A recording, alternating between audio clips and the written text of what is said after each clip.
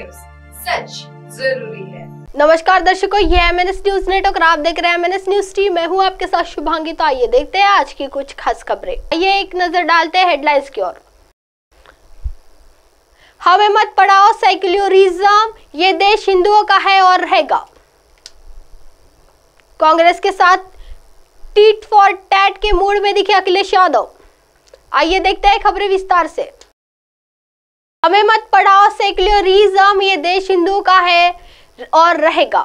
छत्तीसगढ़ में गरजे सीएम शर्मा बोले, राम मंदिर तोड़कर बाबरी मस्जिद बनाना सेक्युलरिज्म नई चुनावी रैली में हिमता बिस, हिमंता बिस्वा शर्मा ने कहा कि प्रधानमंत्री नरेंद्र मोदी छत्तीसगढ़ को दिल से प्यार करते हैं, इसके लिए हमें किसी सबूत की ज़रूरत नहीं है। असम के मुख्यमंत्री हिमंत, असम के मुख्यमंत्री हिमंत बिस्वा शर्मा ने एक संबोधन के दौरान कहा कि हम हिंदू है, हमें सेक्युलरिज्म का पाठ मत पढ़ाइए। उन्होंने स्पष्ट कहा है कि ये देश हिंदुओं का देश है और ये देश हिंदुओं की तरफ़ रहेगा। उन्होंने कहा, ये सेक्युलरिज्म की भाषा, हमें मत सिखाओ, हमें आपसे सेक्युलरिज्म की भाषा नहीं सीखनी है। हमें, हम लोग वासुदेव कुटुंबकम को मानते हैं। ये सिद्धांत विश्व को हमने दिया है। सेक्युलरिज्म का अर्थ यह नहीं है कि कोई राम मंदिर को तोड़कर बाबर के नाम पर मस्जिद बनाएगा। असम के मुख्यमंत्री ने स्पष्ट कहा कि इसे सेक्युलरिज्म की नहीं खा जाता है। उन्होंने यह बातें छत्तीसगढ़ में एक चुनावी जनसभा के दौरान कही। हेमंत शर्मा ने कहा कि प्रधानमंत्री नरेंद्र मोदी छत्तीसगढ़ को दिल से प्यार करते हैं, इसके लिए हमें किसी सबूत की ज़रूरत नहीं है। वहाँ मौजूद जनता से उन्होंने कहा कि पूर्व प्रधानमंत्री अटल बिहारी वाजपेयी, यह प्रदेश आपके लिए बनाया था। उन्होंने यह भी कहा था कि भाजपा के लिए इस प्रदेश का सम्मान माँ बेटे का है। वह मौजूद जनसभा के असम के सीएम ने कहा कि आप लोग माँ है और भाजपा आपका बेटा है। उन्होंने कहा कि ऐसे ही हम आगे बढ़ेंगे और ऐसे ही हमारा संकल्प है। बता दें कि हाल ही में असम के मुख्यमंत्री एनसीपी के संस्थापक शरद पवार की बेटे सुप्रे सुले को लेकर इसराइल हमास युद्ध के परिश्रेय में बयान दिया था।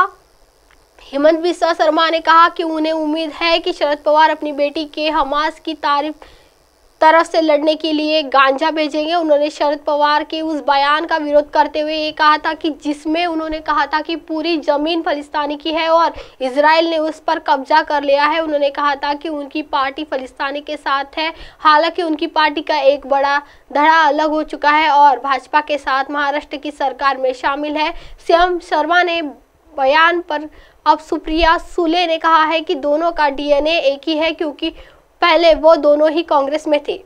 आइए बढ़ते अगली खबर की ओर। कांग्रेस के साथ टीट फॉर टैट के मूड में दिखे अखिलेश यादव। समाजवादी पार्टी के मुखिया अखिलेश यादव ने इंडिया गठबंधन को लेकर मध्य प्रदेश के चुनाव में कांग्रेस के रवैये पर आपत्ति व्यक्त की है। उन्होंने कहा कि यह गठबंधन सिर्फ़ राष्ट्रीय स्तर पर है, राज्य पर नहीं। ऐसी जानकारी हमें पहले नहीं थी, अखिलेश यादव ने कहा। कि अगर यह बात मुझे पहले दिन पता होती कि विधानसभा स्तर पर कोई गठबंधन नहीं है तो मैं सपा नेताओं को दिग्विजय सिंह के पास नहीं भेजता। अगर मुझे पता होता कि कांग्रेस के लोग हमें धोखा देंगे तो मैं उन पर भरोसा नहीं करता। मध्य प्रदेश में सपा कांग्रेस के बिगड़ते रिश्तों पर सपा प्रमुख अखिलेश ने मीडिया से कहा कि हमें यह पता होता कि विधानसभा चुनाव में गठबंधन नहीं है तो ना हम मीटिंग में जाते और ना ही कांग्रेस के नेताओं को फ़ोन उठाते। कांग्रेस नेता ने सीट बंटवारे पर क्या कहा? कांग्रेस के उत्तर प्रदेश प्रमुख अजय राय का कहना है कि हम यूपी में अस्सी सीटों पर तैयारी कर रहे हैं। घोसी में कांग्रेस के उन्हें समर्थन दिया है। अगर हम घोसी से लड़ते हैं तो शायद वे सीट पर हार गए होते। आप हमारे चैनल को आपके मोबाइल पर भी देख सकते हैं। मोबाइल ऐप पर देखने के लिए play store M N S news T app download करें।